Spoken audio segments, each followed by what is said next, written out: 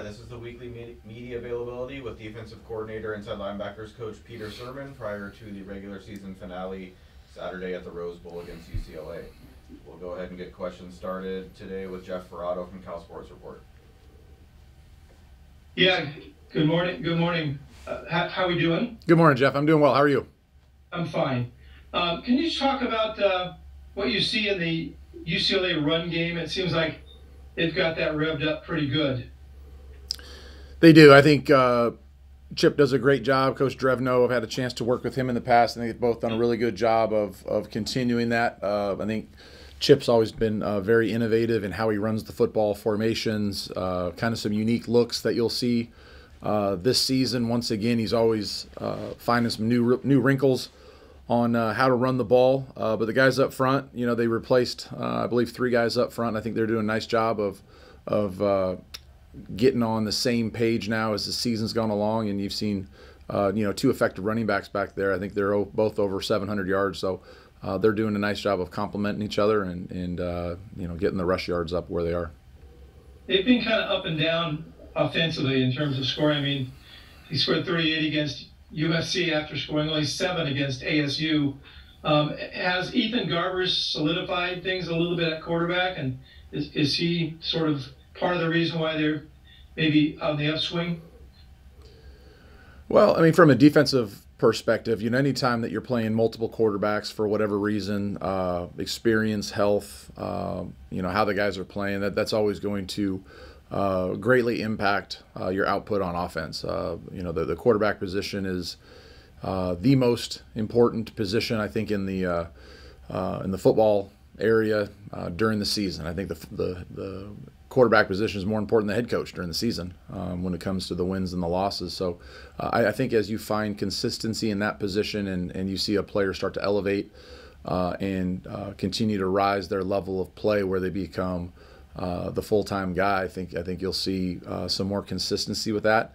Uh, and then you know sometimes there's there's ups and downs in a college football season. Um, you know Arizona State I thought played them very uh, very aggressively, and I thought they did a nice job. And and uh, you know sometimes without great leadership or you know guys that with, with have a lot of experience, you will see some ups and downs. you know based on the performance. Oh, you shared this theory about the quarterback being more important than the coach with Fernando and with with Justin?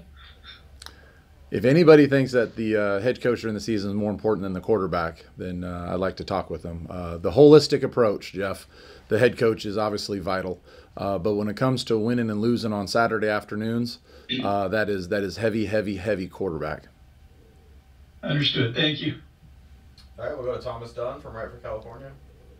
Uh, good morning, Peter. Uh, just to go off of what Jeff was talking about with the quarterbacks, uh, to what extent do you prepare for the other quarterbacks? Because UCLA has played a total of four quarterbacks here in the last month, and just to what extent do you prepare for each of them, knowing that Garbers might has been the stabilizer so far, but you know they've still sprinkled in the other guys.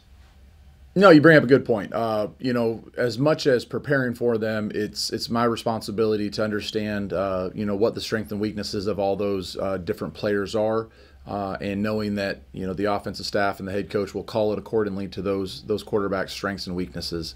Uh, I, I, don't think uh, I could do an effective job of getting uh, four defensive plans ready for four different uh, quarterbacks. So what we try to do is is uh, identify uh, consistent themes that we see in the run in the pass game, consistent personnel groupings that we see in the run in the pass game, and and then tailor things as we get going through there, and and then uh, you know come game day if there's some alterations on who's playing, uh, and if we can identify or feel a, a, different style of play calling, then we'll make some adjustments then. Thank you. All right, Steve Kroner from the SF Chronicle. Good morning. Good morning, Steve. Um, if I were to ask you to pick one or two guys on your defense who, from September 2nd to November 21st, have made the greatest improvement, who would those one or two guys be? Yeah, uh, the first one, um, you know, the, the young kid, Cade Uluave, uh, he's come a long way. Uh, he's been an impactful player for us. Uh, and then, you know, I think Nohl Williams is, uh, I think Noel played his best game uh, Saturday. Uh, he, we, we matched him up on 13. Uh, he really took a, a, lot of pride in, in uh, preparing in that situation. I think he ended up having two catches on him, one at a hitch on a third and four, I believe, and then one he got on top of a route in a situation on a fourth down. But I, but I thought he matched him well. He tackled effectively. Um, he off some off some uh, crack crack replace situation. So uh, I was proud to see him continue to battle in our conference to play corner. Uh, it's a that's a that's a lonely spot sometimes. You're playing against uh, very very uh, talented players, um, and you're going to be in a lot of visible one-on-one situations. All right, thank you. All right, if you have any other questions for Coach Sirmon, go ahead and put it in the queue now.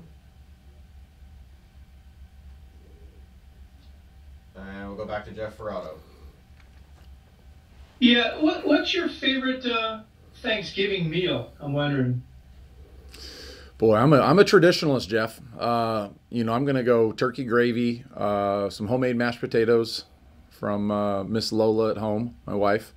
Um, we're gonna do some probably some of the generic cranberry. Like I want the cranberry out of the can where you can still see the lines on the side, uh, where you pop it open and you shake it and you hear it actually leave, and it's a plunk on the on the plate. Uh, so that's where I'm gonna go. I'm gonna go mashed potatoes, uh, some dressing, um, and then we'll go a little uh, traditional kind of orange mandarin orange salad my wife makes with some uh, small marshmallows and some walnuts.